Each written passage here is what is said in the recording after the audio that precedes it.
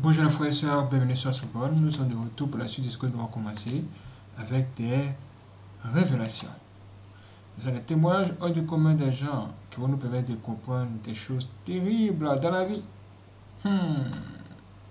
Nous allons découvrir des révélations sur le jeune revenant qui envoie les filles chez lui à la maison alors que c'est sa tombe.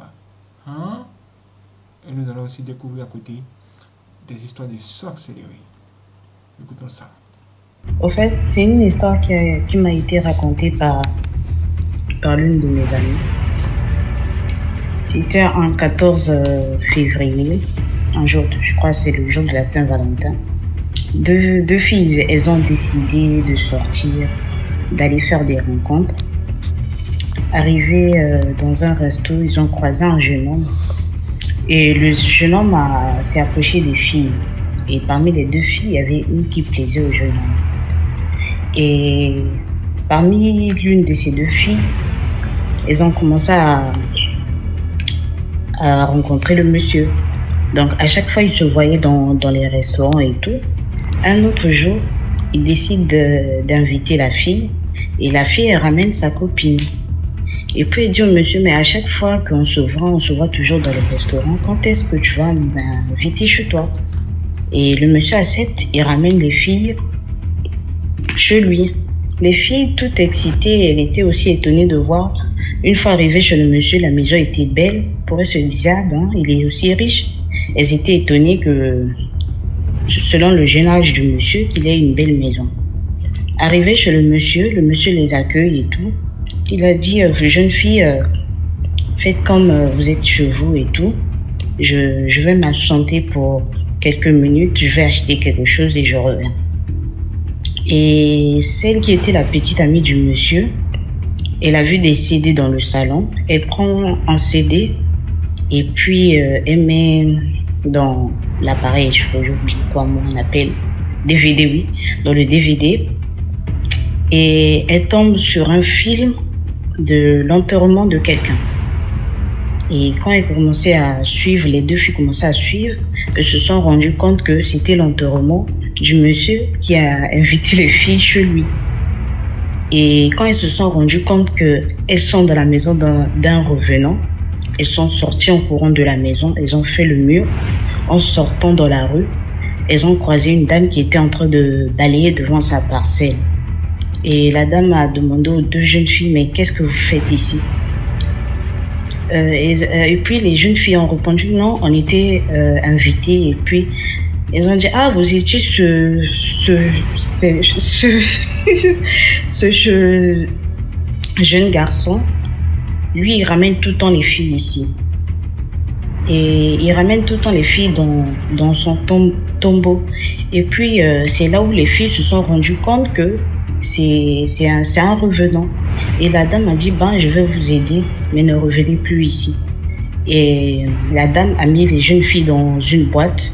Elle a dit, fermez vos yeux. Et elle a sécué la, la boîte. Les deux filles se sont retrouvées dans leur quartier. Et lorsque l'une est arrivée chez elle, elle a raconté l'histoire, ce qu'elle a vécu à sa mère. Et puis sa mère l'a ramenée à l'église, elle a été internée. Puis euh, on a, elle a eu des séances de délivrance. Vous avez entendu ça Alors là, c'est très grave. Donc, euh, la dame a mis mystiquement ces filles-là dans une boîte. Il les, il les a transportées dans ce monde où nous sommes. Alors que ces filles, quand elles allaient chez le monsieur, elles, elles sont allées physiquement, comme vous prenez un taxi et vous allez quelque part. Mais dès qu'elles sont montées dans le véhicule net, elles ne savaient pas qu'elles étaient montées dans un cercueil qui allait les faire voyager dans une autre dimension, bien qu'elles elles voient notre monde encore. Vous avez vu ça? Ça veut dire ce que ça veut dire. Ça veut dire qu'il y a des gens qui ont des pouvoirs et qui peuvent transporter l'être humain en entier depuis notre monde dans un autre monde. Vous allez, vous, vous allez croire que vous êtes encore chez nous, alors que vous avez déjà voyagé. Juste, vous avez été troublé. Votre esprit est déjà troublé parce que La personne que vous venez de rencontrer n'est pas une personne ordinaire. C'est une personne d'une autre planète, d'un autre monde que le, diable envoie tout le temps ici sur la terre pour nous compliquer la vie. Le saviez-vous? Le saviez-vous? Hmm. Nous allons découvrir pourquoi je suis Jean Sobonne. Si vous n'êtes pas abonné, abonnez-vous, activez la cloche et soyez prêts. Hmm. Nous allons maintenant écouter une histoire de sorcellerie dans l'Est du Cameroun, racontée par une femme. Écoutons. Bon, j'ai une petite histoire. En fait, j'ai un peu grandi à l'Est, l'Est du Cameroun. Donc, ce sont des histoires récurrentes. On les vivait constamment là-bas. Mais écoutez. Oui, oui, t'écoute. Qui, qui, on dit quoi? Qui initie leurs enfants. Il y a les grands-parents qui, qui, on dit quoi? Qui initient leurs enfants. Voilà donc, ça s'était passé dans une école, l'école primaire. Dans mon école primaire là-bas. Euh, groupe, c'est quoi? École annexe. Pour ceux qui connaissent l'Est, à Bomban, à Boulé, quartier Mboulé. Voilà. Voilà donc deux enfants, voilà donc une bande d'enfants. Je ne sais pas où la sorcellerie venait, sûrement un parent qui avait initié son enfant. Jusque là-bas, ils avaient une façon de transmettre ça. Ils peuvent te donner, tu peux te mettre le goûter à ton ami comme ça il met ça dedans. il coupe le pain, non, il met la sauce. On appelle ça quoi, les bambous. Ils appellent ça là-bas les bambous. On coupe ça, on te donne. Voilà, maintenant il sacrifiait. Donc, apparemment, il y avait l'un d'eux qui avait à sacrifier son père. Il y avait une petite fille aussi qu'on demandait de sacrifier sa mère. Elle a refusé. Le gars a dit que, comment tu as mangé?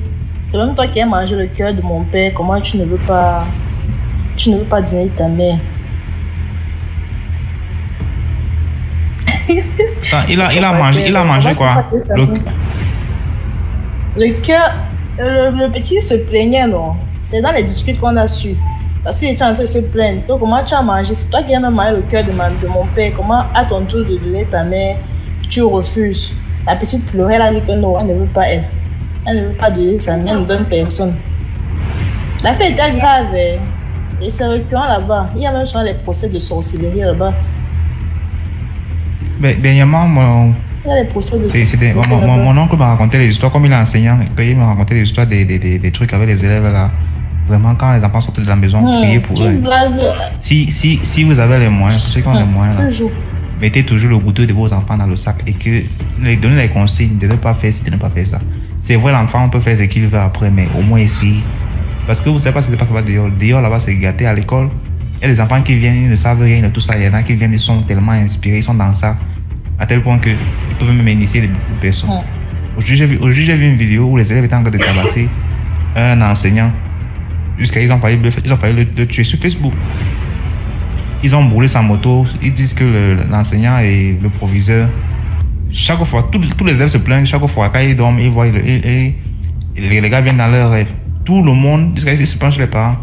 C'était grave, les gars sont. J'ai vu une vidéo comme ça sur, les réseaux. Pas, pas quelqu'un qui raconte. On a brûlé leur, leur véhicule. Oui, oui, l'école, c'est un mauvais. C'est réel. C'est réel. Ok, merci beaucoup pour l'histoire, Manu. Non. Je suis marié à faire le live musique à 23, 23 h Et, deux fois. Oui, bonsoir, vous allez bien? Je vais bien et toi? Je voulais raconter une petite histoire. Ça s'est passé, euh, je veux dire, au Sénégal. C'est l'histoire d'une cousine. Euh, voilà c'est quelque chose d'un peu, d'un peu compliqué en fait parce que quand elle était plus jeune, elle était amoureuse d'un gars qui vivait dans le même quartier que nous en fait. Le gars était vraiment très sympa et très beau. Hein. Ils sont sortis ensemble pendant, je pense, deux à trois, trois ans en fait.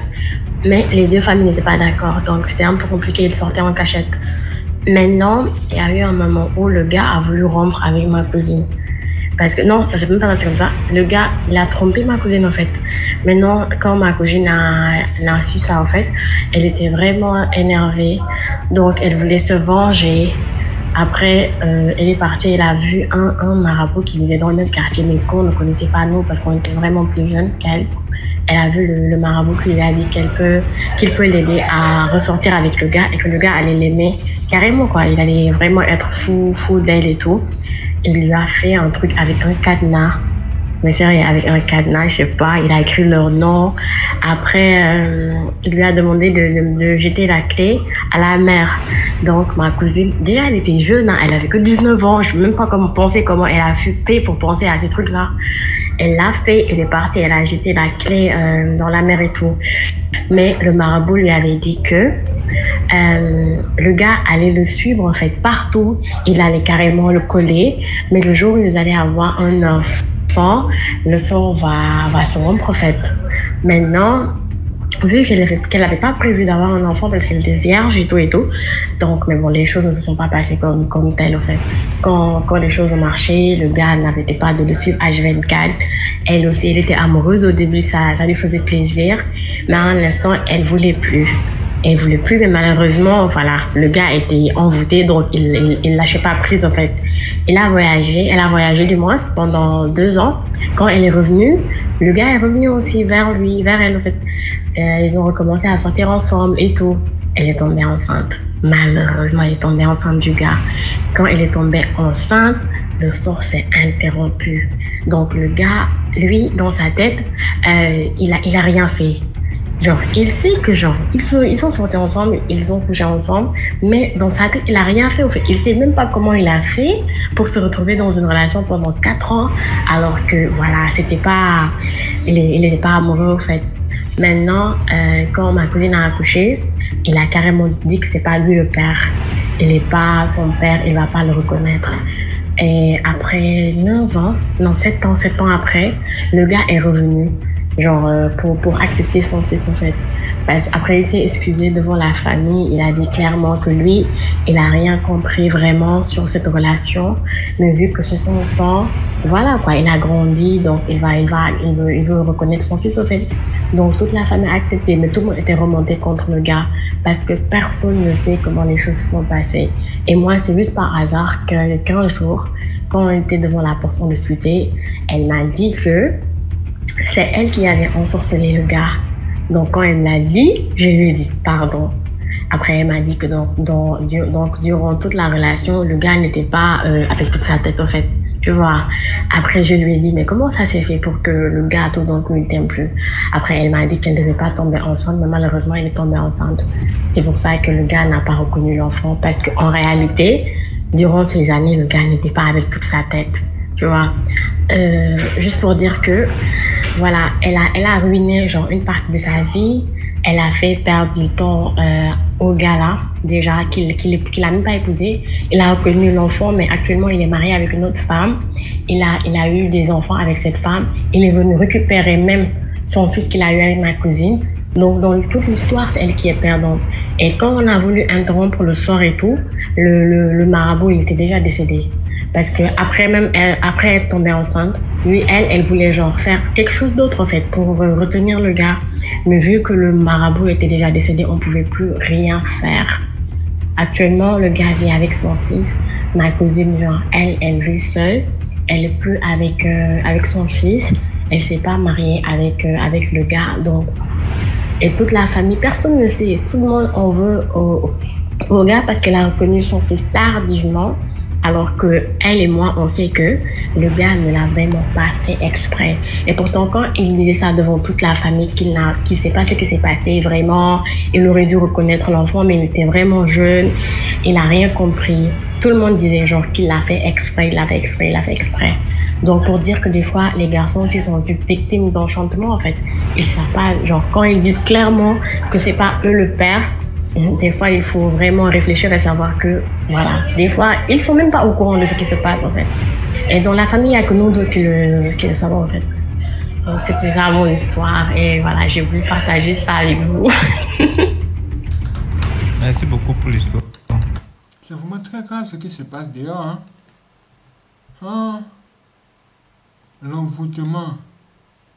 Pour moi, c'est très grave, hein, c'est très grave.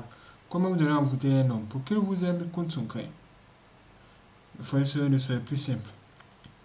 Que le Seigneur Jésus-Christ soit votre protecteur, votre sauveur, celui qui va vous délivrer de tous les sorts que les sorciers, les sorcières lancent aux gens dehors. Hum. Écoutez encore un autre témoignage. Oui. Allô, amour extravagant. Bonsoir. Oh, bonsoir. Oui. Euh, au fait, c'est pour raconter l'histoire d'une dame qu'une tante m'avait racontée. Une dame qui a sacrifié son enfant pour de l'argent. Ça s'est passé dans une ville du Togo, à. Il y a une pauvre dame qui avait 12 enfants et elle avait du mal à s'occuper de ses enfants puisqu'elle était pauvre, elle et son mari. Donc, il y a une dame dans le quartier, elle, elle a de l'argent.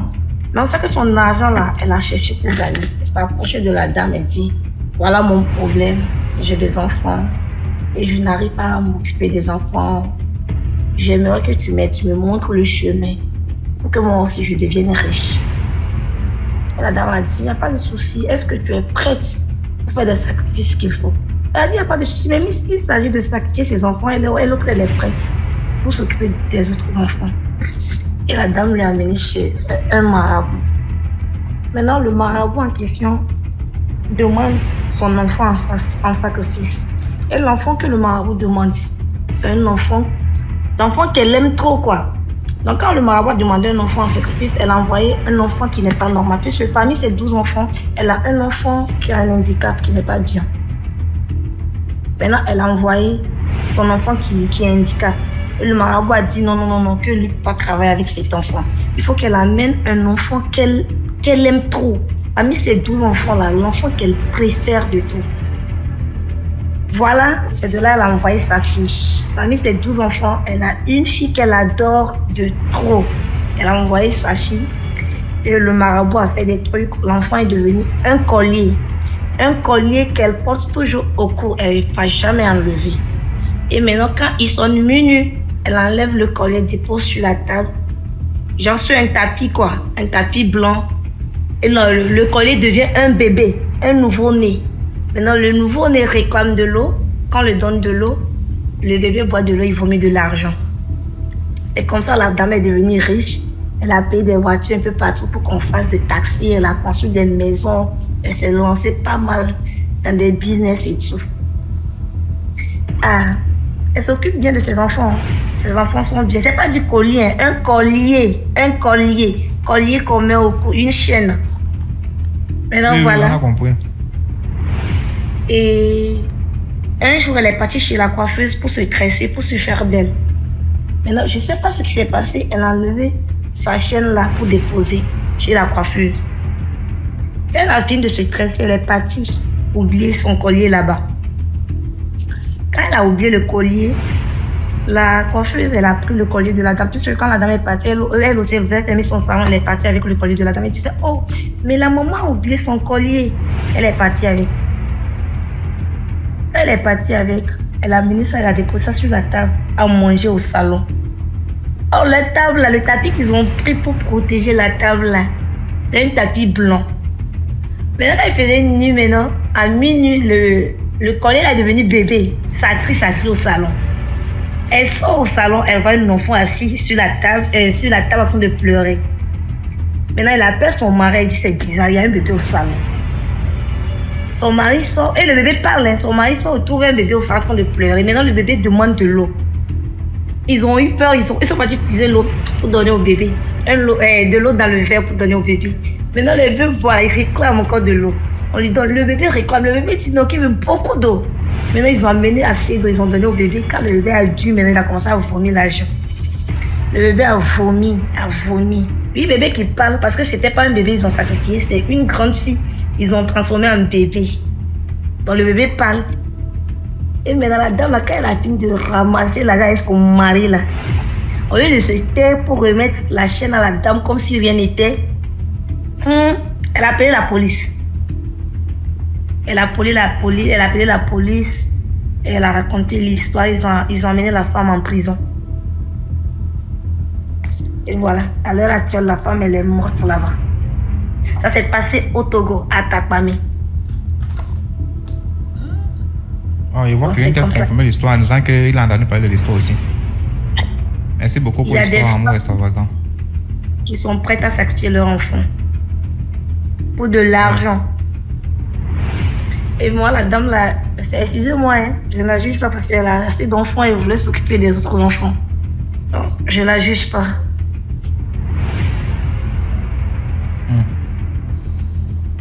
S'il y a bien un ennemi à combattre, mes frères et sœurs, c'est la pauvreté. C'est la pauvreté. Si vous savez que vous n'avez pas suffisamment de moyens, vous devez vous priver de beaucoup de choses. Vous devez vraiment vous priver de beaucoup de choses. Juste travailler et puis faites-vous suffisamment de moyens, suffisamment d'argent pour pouvoir subvenir aux besoins de vos futurs enfants. C'est-à-dire que pendant ce temps-là, vous allez vraiment vous priver de toutes ces choses comme les plaisirs de ce monde, les plaisirs sexuels.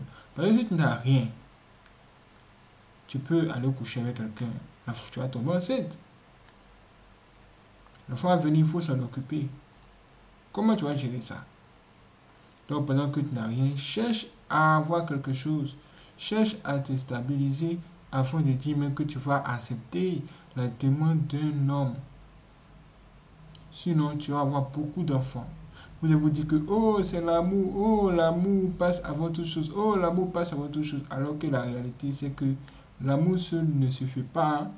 Il faut vraiment de l'argent, il faut les moyens pour entretenir cet amour. Sinon, ça va disparaître. Sinon, les réalités vous vous retomber sur la tête.